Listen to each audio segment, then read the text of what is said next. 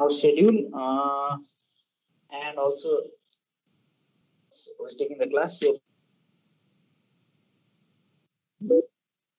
okay, ma'am had to ma'am had some some uh, emergency work, so she could not take, and uh, I I'll be continuing with the class from where she left. And uh, for some reason, I find it in it amazingly coincidental that last year also I continued from here about the same portion. Uh, she completed first half. I got. I think this year also we are going. Okay. Sorry, my net was disturbed. Anyway, so um, I'll be continuing where ma'am, uh, Vinita ma'am left. Uh, she had some really urgent and emergency work, so she could not continue the class. Um, coincidentally, last year also same thing, similar similar thing happened in uh, while taking this diabetes mellitus class, and I had continued with the second half.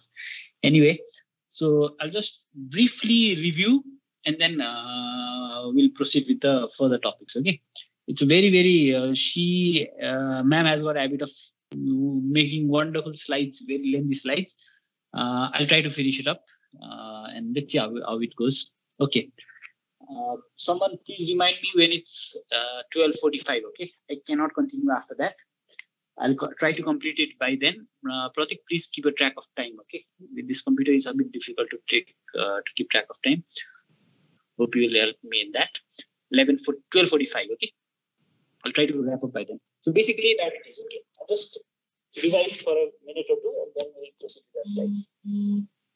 Diabetes. So something related to excessive urination, something related to sweetness. Okay, so there's something called some sugar factor or sweet factor there, and there's something urinary urinary factor also there.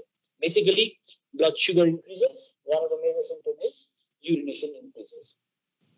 It's a metabolic disorder. Various, it's a group of metabolic disorder basically.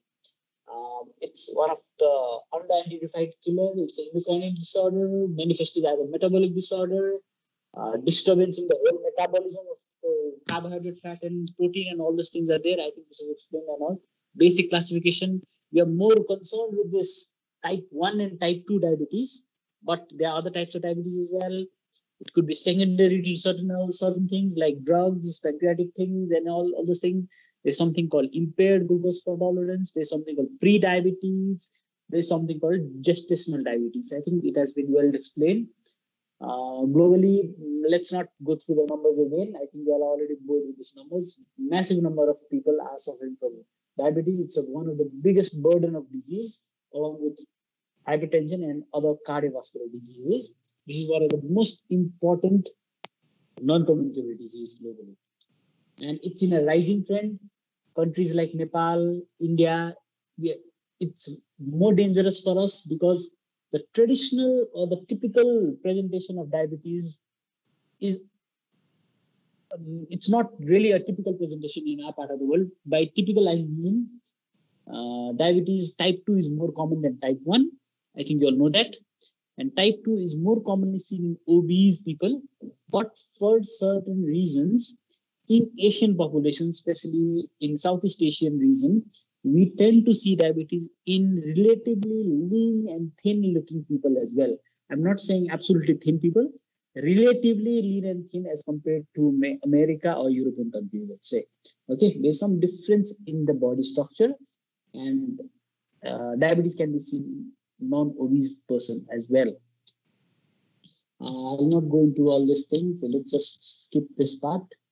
Uh, it's a rising problem in Nepal. It's a steady rise, and controlling this is going to be a big, big problem in the next few years. When you are going to be doctors, you all are going to be worried about diabetes a lot.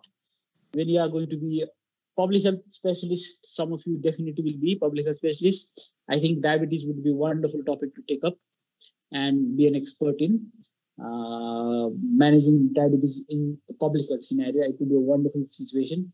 Uh, it'll be a wonderful um, spectrum of work by the time you all are doctors, uh, by the time you all work as a specialist.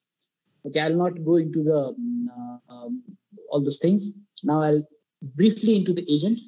So it depends on the type. Okay, agent host environment. This uh, epidemiological factor depends on the type type of diabetes. So there are various agent factors, um, agent factors that could destroy the functioning of the uh, cells that make insulin, basically. Okay, the cause factor is lack of insulin. Ultimately, whatever happens, it will lead to lack of insulin. That will cause excessive rise in blood sugar. That will cause the symptoms, and that will cause the after effect or the late complications. So anything that happens will uh, is uh, what causes diabetes is basically whatever kills those or destroys or hampers the production of insulin. Uh, there are various other things. Let's not go into this wonderful. This is actually a very wonderful chart. I would not like to go right now. I assume ma'am had discussed. Basically, everything about diabetes is in this chart. Uh, diabetes, I think it has been discussed well and thoroughly in your uh, pathology class previously. It will be discussed in your uh, pediatrics. It will be discussed in your medicine. So I, I don't, I'm not worried about this portion for you all.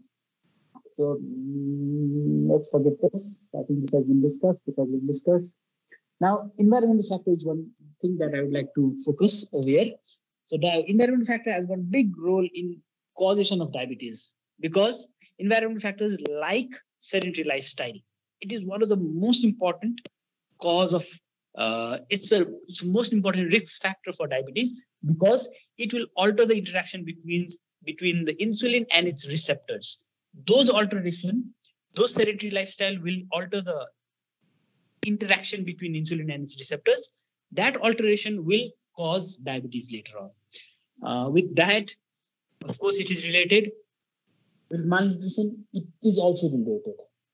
Um, alcohol, viral infections, chemical agents, these are other important um, environmental and host factors that causes diabetes. So um, according to the types, um, let's just briefly, type 1 is basically, let me just come here. Type 1 is basically insulin dependent diabetes. So the cause is body's immune system is acting over there. Uh, we can't really control it. We can't really uh, strike to control it what happens is this disease strikes the children. It causes the harm to the children, especially, and very young adults. Mostly it occurs before 20 year old. So it is very early setting. Type, type 1 may account to around 5 to 10% of total diabetes, uh, uh, total diabetes globally. It's less in our part of the world for some reason. It's more in America and European countries. It's a very troublesome thing because number one, blood sugar will always remain high. In type 1, blood sugar will remain so high that it will cause immediate effect of excessive blood sugar. Not the late complication, it will cause immediate. Uh, those immediate complications can be fatal, can be an emergency situation. So type 1 is a very daring disease. It is really, really uh, a complicated thing to manage and those poor kids who get this disease they have to manage the disease they have to live with this disease lifelong we've got modalities to live with it with the help of insulin basic idea is there's no insulin in the body so we give insulin supplementation. When we give those insulin supplementation it has to be, be balanced so that there is no excess that causes harm. There is no uh, uh, um, there is that causes harm like hypoglycemia or there is less amount of insulin in the body that causes no role in decreasing those blood sugars. So we have to strike a balance, and striking that balance is really difficult. And they have to learn to adapt to their lifestyle. So mm, uh, type 1 is very severe form of disease, abrupt onset, immune mediated for 90% of the cases, idiopathic, unknown causes for about 10% of the cases.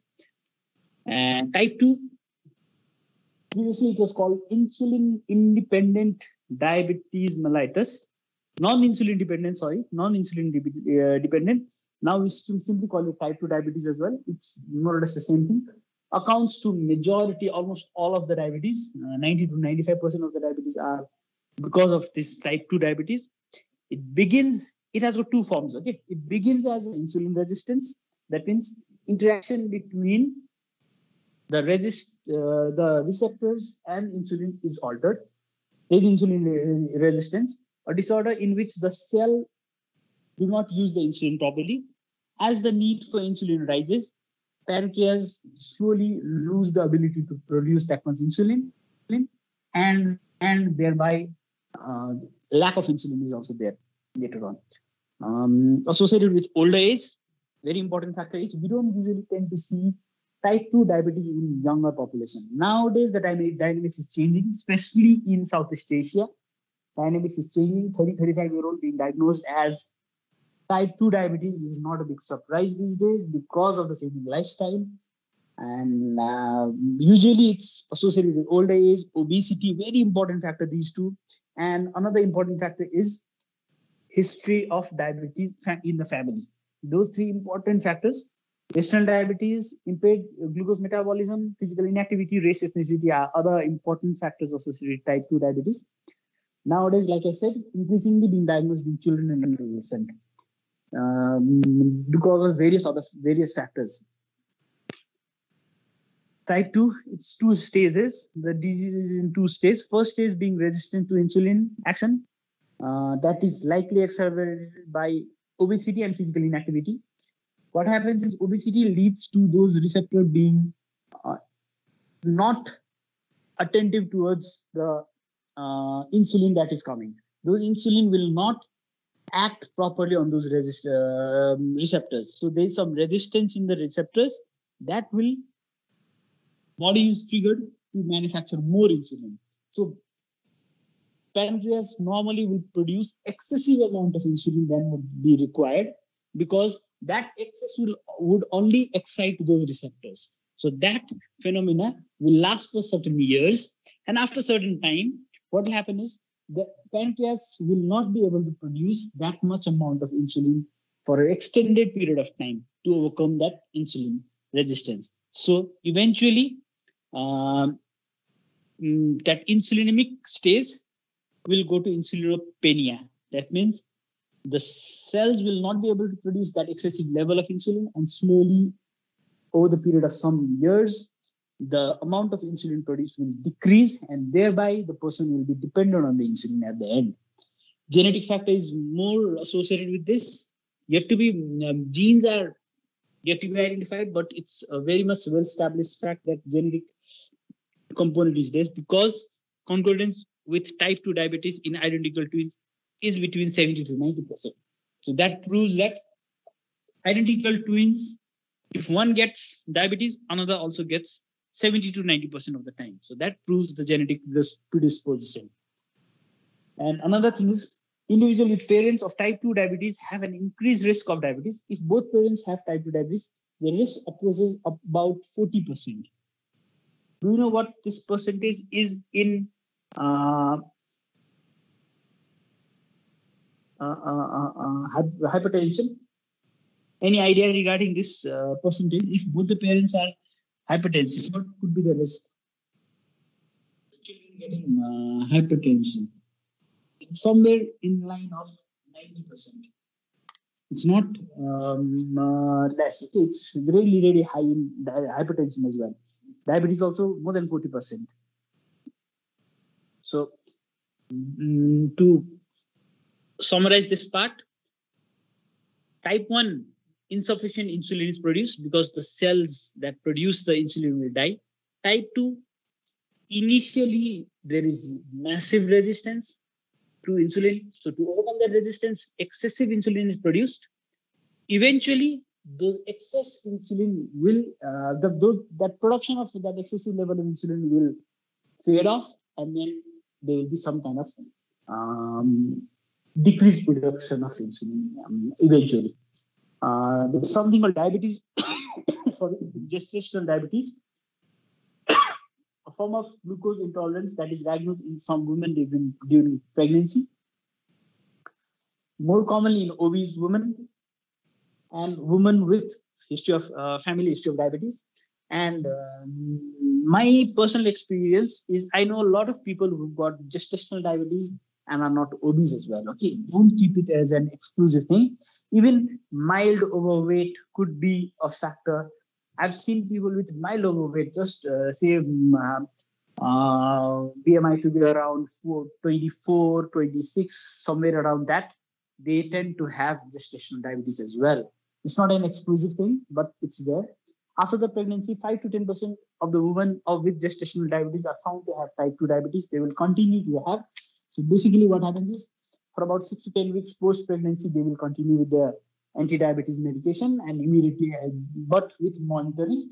And during that time, if the blood sugar level falls down uh, well and good, then they'll stop the medication and they're clear from the disease. Otherwise, they will continue to have. But women who have had gestational diabetes have 20 to 50% chances of developing diabetes in the next five to 10 years. So that is very important. A gynecologist should usually, obstetrician should usually counsel the lady who's got gestational diabetes that they could be getting the disease, uh, type 2 diabetes later on in their life.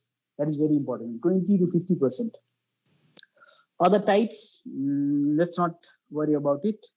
So very important for, from cognitive point of view is pre-diabetes. Very, very important, this pre-diabetes concept, okay? So pre-diabetes is a term used to distinguish people who are at increased risk of developing diabetes.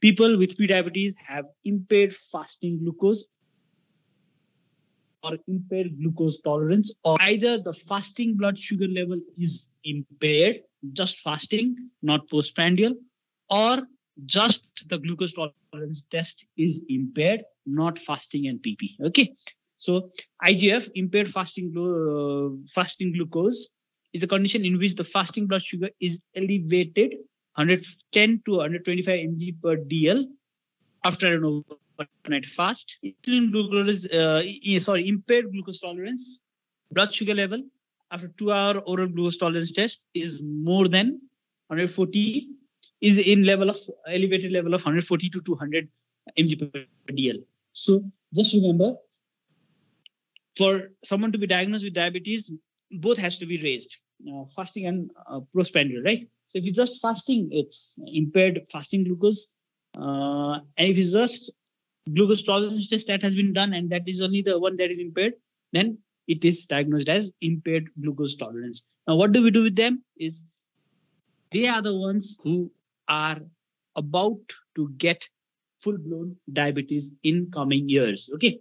Now, these are the prime candidates who we can work so that they do not develop the disease number one.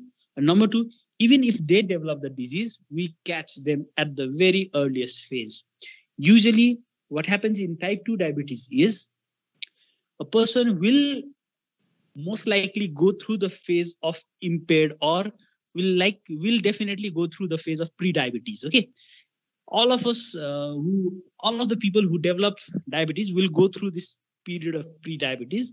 But because we are not screening for the blood sugar level at various times of our lives, we tend to miss them. Okay, we directly diagnose diabetes later on when they are full blown showing some signs and symptoms of diabetes or when they visit the hospital they are tested and then they are diagnosed with diabetes rather than pre-diabetes because we are not screening properly. Public health point of view from community medicine point of view what happens is that if we develop certain system to measure the blood sugar level and if we are able to screen people either before they get diabetes or even pre-diabetes condition what we can do is if they have got other risk factors we can work on it if they have got pre-diabetes we can work on it so that we can delay the process of developing diabetes and its complications insulin resistance syndrome. So basically initial stage of type 2 diabetes, uh, central, obesity, uh, central obesity, hypertension, atherosclerosis, polycystic ovarian syndrome, acanthosis, and glucose intolerance. These are the basic things. Clinically, biochemically, what happens. Is glucose intolerance, dyslipidemia, and vascular abnormalities may occur along with hyperuricemia these are the basic things that happen. We tend to be more worried. Uh, we can't really label someone uh, with uh, diabetes or being having insulin resistance syndrome with just dyslipidemia or vascular abnormalities or hyperuricemia we tend to focus we have to some have some kind of a evidence in basis of glucose level so what we do is rather than others, you are more worried about this glucose intolerance. Now, how does a person with diabetes present in the hospital? Any anyone would like to um, pitch in some ideas? Okay, it's already there. It's already there.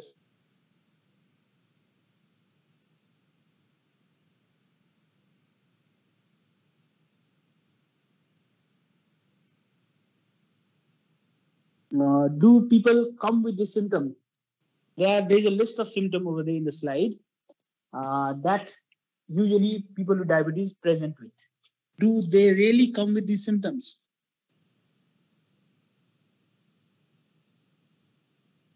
Anybody? Do they really come with these symptoms?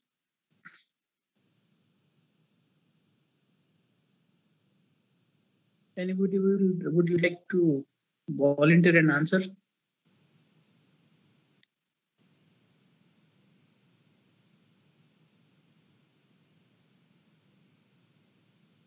Okay, uh, let me call out a name.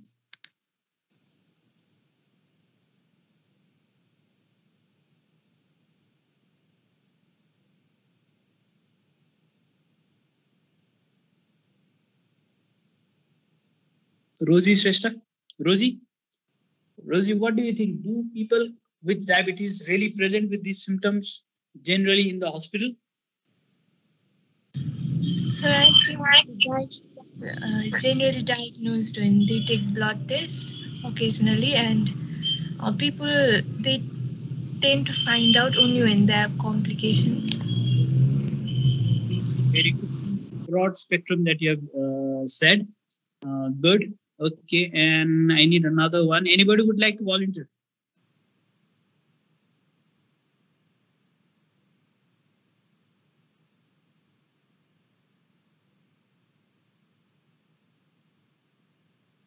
Okay.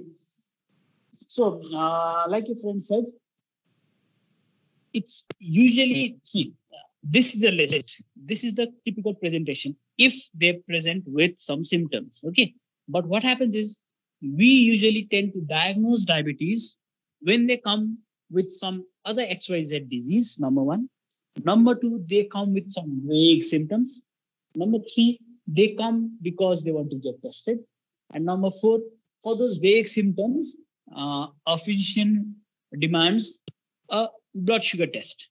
That is when we uh, pick up the disease, usually. Okay, I don't have uh, the facts for our reason, our part of the world but usually what happens in our part of the world what i feel what i what i clinically what i observe is most of them see clinician i've got a very wonderful habit of screening for blood sugar. It's a very cheap test relatively affordable by majority of the population. Government hospitals they've got it free. So we tend to demand a blood sugar level test at least a random if not two tests, uh, fasting and PP. If not that, at least a random we tend to demand along with a urine test. So those tests are usually a wonderful screening test, though not really accurate always, though not wonderfully sensitive, but they are really, really good tests to indicate if somebody has got pre-diabetes or diabetes. Okay, they come with certain symptoms, we tend to send that test. And that is the time when they are really diagnosed most of the time. So once they are diagnosed, we test for the full-blown uh, everything that are need, that are needed uh, biochemically, and then we ultimately come to a conclusion. Okay, now, um, okay, complications. Acute complication, hypoglycemia, ketoacidosis, and infection. These are three common things that are associated. Uh, hypoglycemia, mm, probably more in someone who is under medication. Probably more in someone who is under medication after they know they have got diabetes. Ketoacidosis and infection, usually in the ones who have got uncontrolled diabetes, uncontrolled blood sugar level. Uh, any infection, okay? Tendency to develop infection, tendency for delayed wound healing is more in people with diabetes. Chronic atherosclerotic processes, microangiopathies. Microangiopathies in various organs, various part of the body. So uh, microvascular components of retinopathy, neuropathy, nephropathy. Retinopathy, they've got vision defect. Neuropathy, they cannot feel certain sensation. Nephropathy, kidneys will not function properly. Macrocerebral, uh, macrovascular diseases, cerebrovascular disease, peripheral vascular disease, coronary heart disease. So these are complications of diabetes. I would not be surprised if a good chunk of people end up to the hospital after they develop these, mm, especially these microvascular component disease. I would really not be surprised in our part of the world. They use they do come at this very very late stage. And mind you, there are people in Nepal who've been diagnosed with diabetes for about 40 50 years and they have not developed these symptoms. So our modality to treat really works to control diabetes. Diabetes is one disease, hypertension is another disease where proper medication, regular examination will lead to avoidance of the complication. These are two diseases that really don't cause much acute harm. Hypertension does, but diabetes really does not really cause much acute harm until excessive blood. To develop Uterus this is unit somewhere around 500, 600, 700 mg per dl. That's excessive amount. But otherwise, acute is not really a problem. They are the ones that can be really controlled wonderfully. And if they are controlled wonderfully, these complications that are listed over here do not really come. Do not really come, and we end up avoiding these complications altogether. Uh, medication of any other, any forms will control the disease. So uh, long-term complications, because of those uh, major complications, what will happen is retinopathy will, will lead to potential blindness, nephropathy will lead to potential renal failures, neuropathy will put, lead to foot ulcers, amputations, Charcot joint, and all this thing.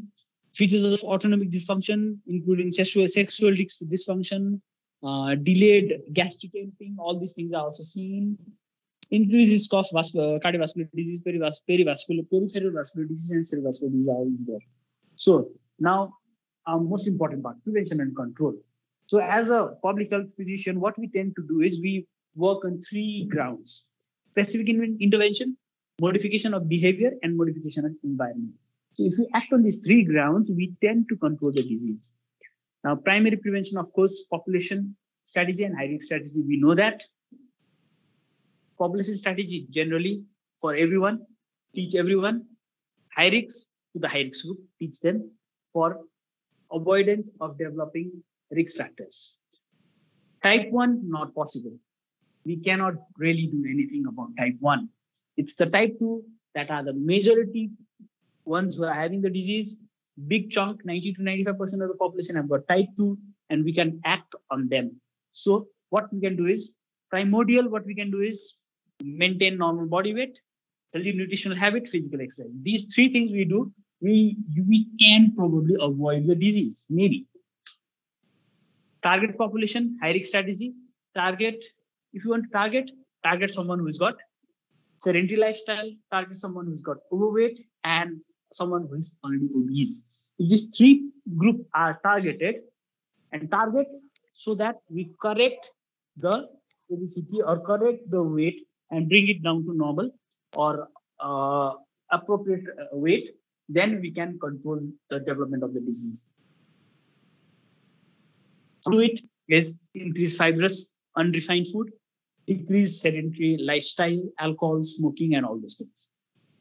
So these are the high risk strategy. Secondary prevention. Now, secondary prevention, usually we tend to target for this one. Now, our strategy till now, we've got, see, public health measures for primary prevention will only be enacted globally in any part of the world once a large chunk of population will get the disease. Okay, see, um, in January, February, when um, this coronavirus, this COVID-19 was the new thing last year, last year, this year, so I'm already into 2021. Uh, in the beginning of this year, in January, when you all were in college, when you, uh, when you all were preparing for your final examination, in January, February, in, even in March, when you were giving when you were giving your exams, did we ask you all to put on masks? This, did we bother for um, this uh, crowd control? Did we bother for maintaining distance? We didn't really do, right? Why? Because public health measures usually do not come into action until a big chunk of population will have the problem. Okay. When there is a potential problem in the population, then we act. Same thing with diabetes. In Nepal right now, it's a very small population. Three, three, four, five percent of the population have the disease. So that's relatively a very small population, and it's spread out throughout the country. It's spread in certain part of the country more than others. So we, it's that small chunk is spread out so much that the country is not ready to really invest a lot in diabetes prevention. But what we are, what they're investing, what they are uh, focusing more in is secondary prevention. Okay, so secondary prevention, what we do is someone who's already got the disease, we want to focus on them. How do we focus? To maintain blood sugar level, maintain body weight, nutrition, and prevent development of complications. How do we do it? Diet, exercise, drugs, and education. Four things we do. So we teach regarding these four things, and we ask the people to do these four things. We ask them to eat good, we ask them to exercise, we ask them to take the medication if required, and we teach them all of these things. So diet. Uh, basically, we want a diet that has got 60 to 65% carbohydrate, 15 to 25% um, fat, 15 to 20, 20% protein for the total calorie needed. Um, calories required roughly around over uh, 20 someone who's got underweight so see roughly we require somewhere around 20 to 40 kilocalories per kg per day okay so on that ground we can work um, in diabetes ideal body weight what we want is uh, maintain body weight less, uh, 10% less than the ideal body weight. So ideal body weight is usually height in centimeters minus 100. So someone with 150, we target somewhere around, see, it's not really appropriate for all. So let's say someone who's got 160, 170, uh, 160 centimeters height, we target the weight to be someone, if someone has got diabetes, focus uh, should be 5%, 10% less than the ideal body weight.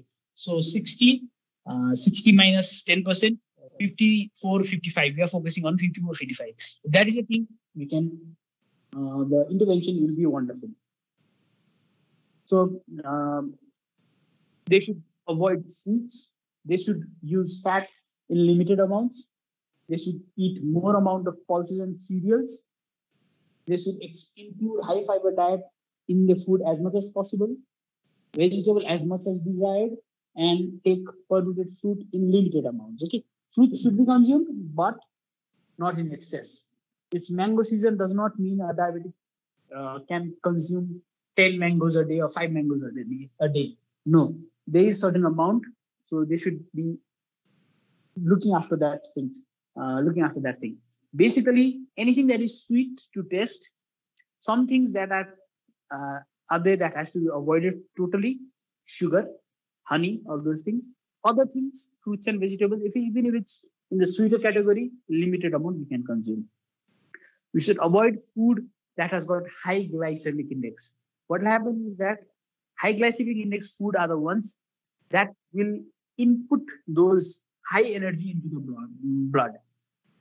Immediately after consuming, a food with high glycemic index will uh, we are able to absorb high amount of uh, those sugar in it, basically. Okay, and blood sugar will rise because of that high uh, glycemic index food. So we should avoid food with high uh, GI.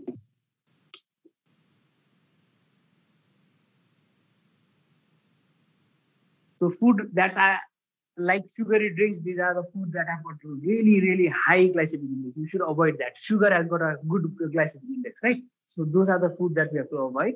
And we should focus on food that are really hard for the body to absorb all the sugars, all the carbohydrate. Exercise is another thing.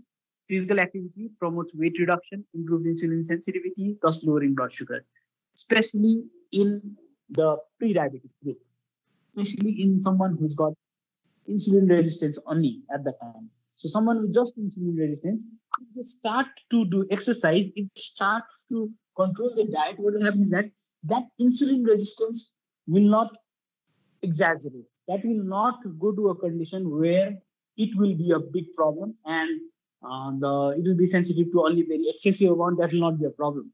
So if we can control at an early stage, then we can help the person. We can help the person in just using medications other than insulin. That would be a really wonderful thing. Uh, dietary treatment, a program of regular physical activity and exercise should be tailored with the individual health and fitness. People should be educated about the potential risk of hypoglycemia and how to avoid it. So these are this is one other thing. What happens sometimes is that we tend to get poor people who are really worried about the diabetes. And what they will do is they will cut down their food drastically, no carbohydrate at all, minimal carbohydrate, and they'll do excessive exercise. They might end up having hypoglycemia. Okay, why? Because in insulin resistance, like I said earlier, there is already higher amount of insulin in the blood circulation.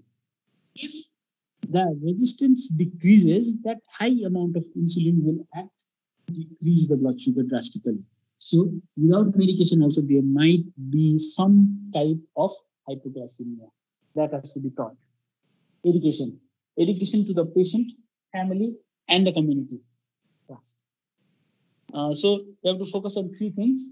Uh, nature of the disease. We have to teach the people regarding what the disease is, what, uh, how do we control the mm, type 1, type 2, all those things we have to focus on that. We have to educate regarding uh, diet, exercise, and treatment. So there are three components. Teach them about diet, what to eat, what not to eat. Teach them about exercise, focusing on hypoglycemia also. Teach them about the treatment. So how to take the medication and the importance of medication. Okay, I'll come to the, that part again in a while. Another thing is we should teach them about routine checkup, blood sugar level, urine sugar level, protein, ketone bodies, body weight, visual acuity, all these things, routine checkup, they have, we have to teach them. We have to teach them about adherence to diet, adherence to drug.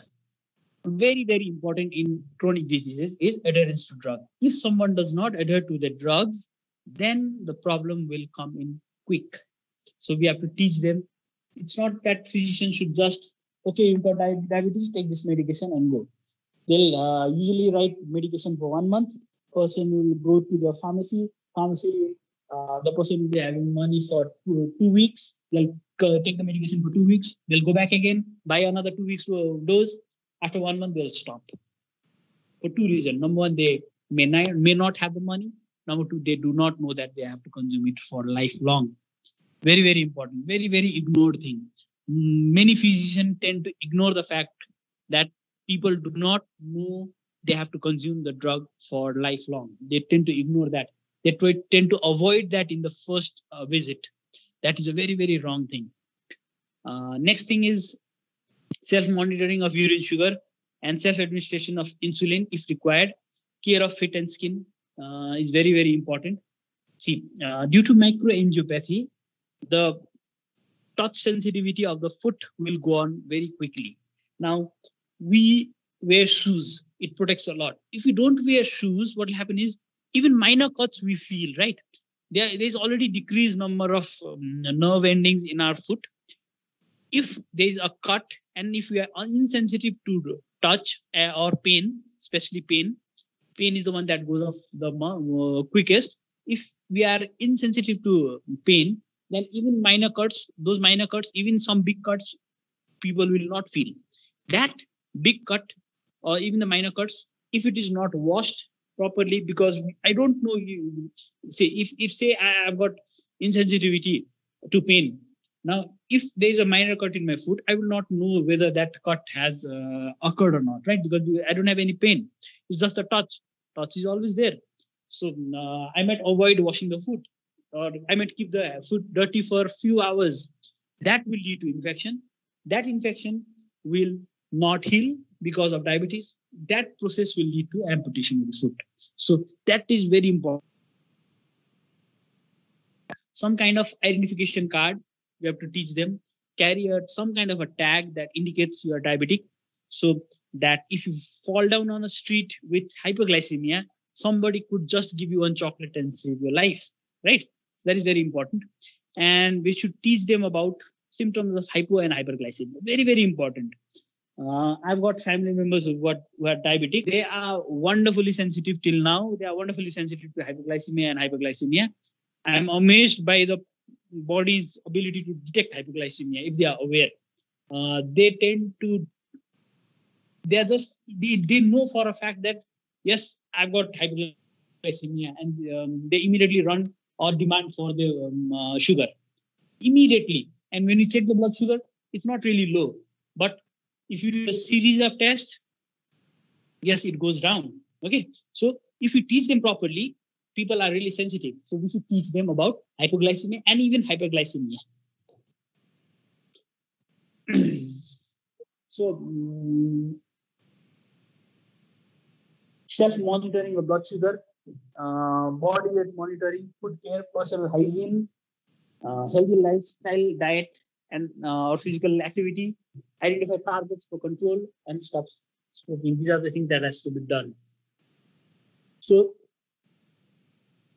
see, diabetic people should wear these kind of shoes.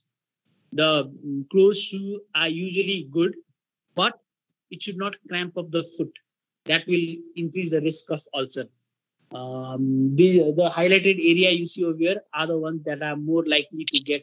It's 45 boy? Lala, okay, thank you so much. I think I'll finish it off. Okay, thank you so much. Uh, okay, the, these are the risk areas. Now, for secondary prevention, we also need another thing called pharmacotherapy. Now, pharmacotherapy is usually done by achieving good glycemic control, which is diagnosed by usually, or uh, we tend to assume good glycemic control, we, we know that somebody is in good glycemic control or not with the help of glycated hemoglobin levels, HbA1cs. We do that. These tests are really wonderful to say whether for an extended period of time, probably two months, three months, the person's blood sugar level is in control or not. So we focus on that. These levels usually are 6.5 in around that. Uh, but lab wise, the number might change. Basically, what we want is we want a good glycemic control. And glycemic control usually is started with oral anti-diabetic agents. Later on, if that does not control, that means the person has gone into a stage where insulin resistance is not the only thing that is happening in the body. It, there is also decrease in insulin production. So we might have to go to insulin uh, supplementation as well. So these are the drugs. I'll not go into the details of the drugs. You have already studied about these bisonates, sulfonylureas, uh, and all those things. Uh, I'll not go into the details. Basic, basically, one important thing that you should know is usually a diabetic person will not be uh, in a stage where they will not be having metformin. Almost all of the diabetic people will have metformin why it increases the sensitivity to the uh, receptors okay? So it increases the skeletal muscle receptor sensitivity. So any form of insulin either you give or that is naturally produced both are um, consumed properly by the muscles. So these are the targets. I think we don't need this no, combination we tend to give um, oral agents in combination metformin along with certain others that it's these are done but usually this is done only after a few months of targeting monotherapy. Monotherapy usually is always again metformin. Uh, i think this is all for diabetes. So screening like i said earlier uh, urine and blood sugar level even random these are good. There's something called glycated hemoglobin glycosylated hemoglobin hemoglobin HbA1c that can also be introduced as a screening tool but these are expensive for screening somebody would love to prefer 80 rupees test over 800 rupees test, right? HbA1c costs somewhere around 800 to 1000 rupees. So they tend to avoid. You can't really ask people to use this as a screening tool. So we go towards fasting blood sugar and um, uh, postprandial to test 80 to 260 rupees or 200 rupees. The test can be done. There's something called diabetes risk score. Indian diabetes risk score. We validated in our from our um, department. We did a uh, survey there is one Indian diabetes uh, risk factor score. We used that and it was totally valid for our country, for our part of the community also. So we can use those kind of screening tools uh, as well. Uh, there are some assessment forms and all. We can use it. Uh, this is the Indian Diabetes Risk Score. A few factors what they take in is age, waist circumference, physical activity, and family history of diabetes. Um, with these four things, they have certain score. If the score is above 60, we ask the people to go to do a test, uh, screening test that I said earlier, especially uh, focusing on fasting and postprandial blood sugar level, and then we can identify them properly. Um, last thing for this diabetic people is tertiary prevention. Delay, we always would like to delay, more than the diabetes, we would like to delay the micro and macrovascular complication. complication. So we would love to act properly. We would like to teach them to avoid these things by doing all those things that I discussed previously. Uh, but if that is not the thing, then tertiary prevention with disability limitation and rehabilitation is done. Uh, rehabilitation, especially with uh, type 1 diabetes, teach them regarding how to use the insulin properly. There are insulin pumps. What they do is they stick a pump in the body. Uh, the pump is there in that they have to carry, and there's a small needle, plastic needle that is inserted in the tummy and uh, is wrapped around the tummy, and then the pump will continuously uh, pump off uh, insulin so that it's like a natural phenomena and the person will not have to prick uh, very often. Uh, we have to teach that. If that is not possible, taking insulin, uh, blood sugar level and taking insulin, we have to teach them. That is rehabilitation part. Uh, disability limitation in gangrene amputation, we control it, we uh, minimize it, we give them prosthetics if required. All those things are there for tertiary prevention. So basically, these are the things for diabetes. Lot of things are taught prior to community medicine, prior to you, uh, prior to us discussing community, um, diabetes in community medicine. But please, my humble suggestion: anything that is public health type, the numbers in the beginning, the pre-diabetes thing, the diagnosis part, and anything in the prevention and control part, please focus and read it again. Go through part, go through any other books that focuses on uh, prevention and control. I think any book would give a good suggestion in diabetes, and there is no such thing called read only one book. You can read the content anyway. Internet, be careful to read only authentic contents. Do not go towards Wikipedia. Uh, do not go towards those um, websites that focuses on health and all when they are